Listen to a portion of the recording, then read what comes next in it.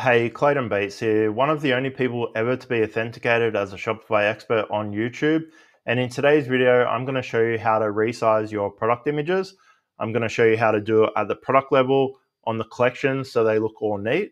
Now, with that being said, uh, if you comment size below, you'll also be entered into uh, giveaways that we're going to be doing. Thousands of dollars worth of stuff I'm giving away. So comment size below if you have any questions about what I'm going to show you, leave me a, a comment below, or you can click the link below to get a free video review of your website, going over tips and suggestions. When you submit that, just ask me a question about the product resizing and I'll answer it there. So with that being said, let's jump into the video. All right, so the first way I'm gonna show you how to do it on the brand new free themes that Shopify has, Horizon and all the new themes. And then I'm gonna go in and show you how to do it on Dawn theme and then give some suggestions for any of the other themes. The first way I'm going to show you moving forward, probably in six months to a year from now, all the themes are probably going to do it this way. So let's sort of get, get into it. So if you go online store themes and you go into your customizer here, basically every type of theme template has an option like this these days over the last year or two.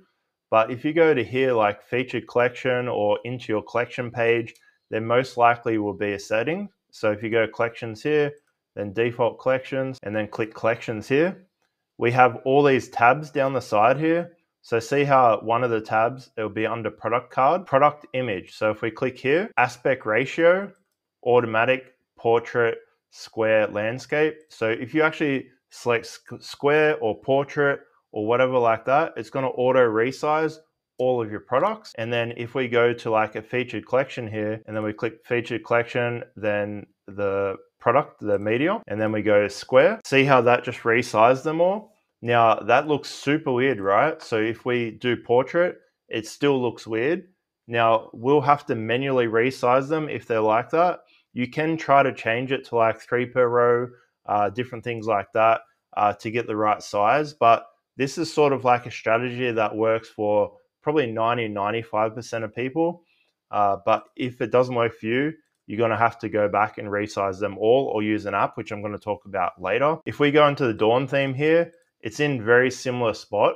So if we go to the collection, so collection, uh, default template, and we have our thing here, we click product grid, and then it might have a image ratio. So we can change the ratio like that. So see how it just changed. This one, adapt image, it changed to this. Also, just so you know, this Dawn theme, my team actually coded in over 100 options extra on top of Dawn into this theme. And if you want this theme, just grab, uh, jump into my school community. There'll be a link below, and I'll give you this theme, no worries. It's like a turbocharged version of Dawn. There's also this other theme that I'm going to make a future video about um, called Falcon Pro. It's a third party theme. I normally don't recommend third party themes um, but this is a really good bang, bang for buck theme, which I'll leave a link below. But it works very similar. A lot of the themes are very similar to this as well. You go to the collection, you click, click collections, you click products, and there will be like something to resize it here. Or actually, I think you might click collection for this one. Then theme settings, yeah. So see how it's always in sort of a similar sort of area image ratio, square, adapt image, um, portrait, all this different stuff here. So see how it's all in a very similar sort of area. Some themes will have theme settings and then there'll be like products here, like product card, for example, and see how it says image ratio. You can actually change it in here as well. All right, so the next option is to actually go into your products and resize them inside the product. Now, like I said before, if the last thing that we did works on 95% of your products, then you come in here and just fix a couple up. That's probably going to be good. So if we go to products here and then we click into our product here, we just want to scroll down to the image here and click on it. And this is going to take us inside the image. And then we have these two features here, crop and transfer, transform and resize. So for example, you could click resize, um, unselect this lock button, then do like 800 by like 800, for example, and press apply. Now see how that resized it to a square. Now that image looks super weird that way. So sometimes you don't want to do that. A, lo- a lot of the times when you have people in the images, that doesn't really make sense to do. it makes more sense to crop it. So if we click crop, we can actually select what we want to do. So let's say square, for example. So see how it, it now is outlining the square and we can actually move this to the position that we want it to, to be. So if we actually move it up, it's got the person's face in it, it's got the shirt, it's got the logo, all that sort of stuff. And then we just press apply. Now see how it hasn't made it look funny. Now it's all there in square and you can do portrait, whatever sort of thing. And then you just come up here and press save. If you're not sure, you can just go, do control uh, Z um, or just X out of it and not save sort of thing. So see how it's like leave without saving. So basically it safeguards you from messing up the image. All right, so the next way to do it is actually come to the Shopify App Store. I searched resize product images in the App Store and there's a few different apps that actually do this. Now, I normally don't recommend to do this. The main reason is if you have thousands and thousands of product images and something goes wrong here, it's going to be a little bit annoying. So I don't normally recommend it. We used to always use uh, this app here, Photo Resize, like four or five years ago. I'm pretty sure it's this one, where it just charges you. See how like how many per per image? It just charges you that, and a flat rate after that amount. So this could be a cost-effective way to actually do it. But the way I look at it is, you should reach out to someone and ask if if this is the best way to do it. What I recommend is send me an email, send me the website link, and I'll tell you if it, it makes sense to use it or not. Um, and like always, if you want a free video review of your website going over tips and suggestions, uh, you can do that below in the link as well.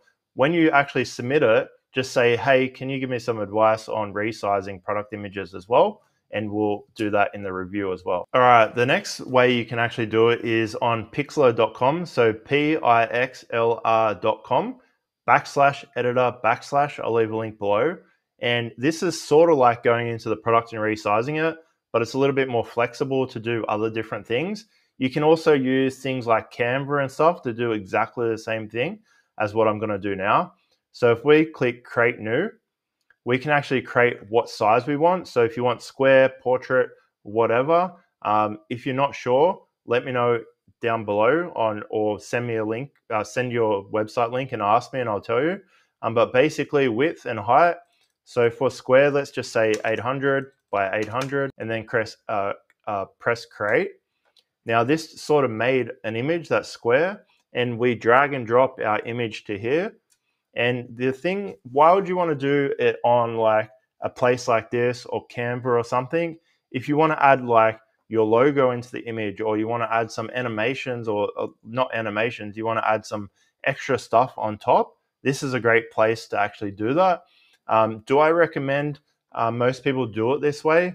No, but you can also do it this way. All right, so I'm going to show you an example here. So if we have our product image here and we drag and drop it from our desktop, desktop and then press add current, it actually puts it in here. You can click this plus and do it from your desktop as well. We can resize it, do all different things, stuff like that. If you want to make some edits and stuff, this is really good.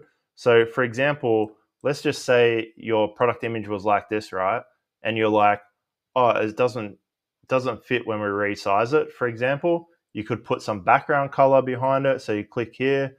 Um, you could like paint uh, the paint the paint the paint tin. So let's get the color here like this. So see how now I just put the color behind it and then I could use the brush here. So little things like that, it makes sense to do it this way.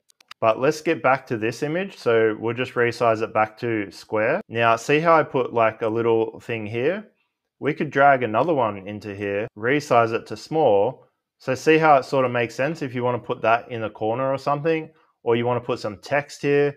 Um, like I said, 99% of people watching this, you probably don't want to put anything on your image. You don't want to put text. You don't want to do anything.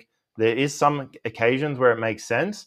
The main reason why I normally don't recommend putting uh, text on your image because a lot of people recommend this is that if your font that you put on this is different to your website, it's going to look weird.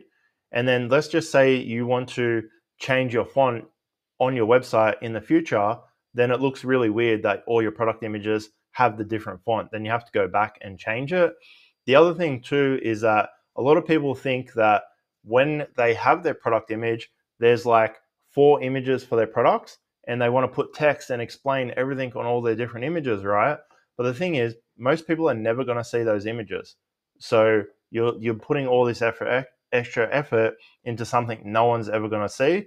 Um, but like I said, if you're not sure, shoot me a message and I'll let you know what makes sense. Just ask me the question and I'll let you know what makes sense. All right, that's it for the video. If you have any questions, let me know in the comments. If you comment size down below, you'll be entered into our new draw where I'm giving away thousands of dollars worth of stuff. So just uh, comment size and you'll be entered automatically. Thanks for watching. If you want a free video review of your website going with tips and suggestions, there'll be a link below and there'll be a video somewhere where you can learn more about it. Until next time, thanks for watching and have a good one.